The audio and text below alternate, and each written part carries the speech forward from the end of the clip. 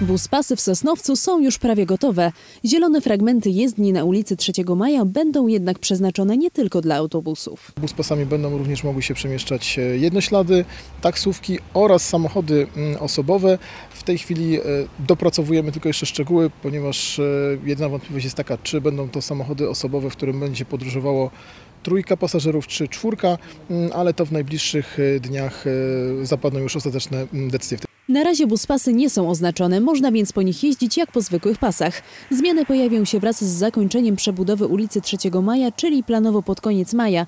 Policja poleca zwrócić uwagę na znaki, które zostaną wówczas zamontowane. Oczywiście cała akcja będzie poprzedzona odpowiednio intensywną kampanią informacyjną odnośnie zmiany organizacji ruchu w mieście. To jest dosyć poważna zmiana, to jest nowość. Buspasów tutaj na chwilę obecną w takim wymiarze i w takiej ilości nie mieliśmy.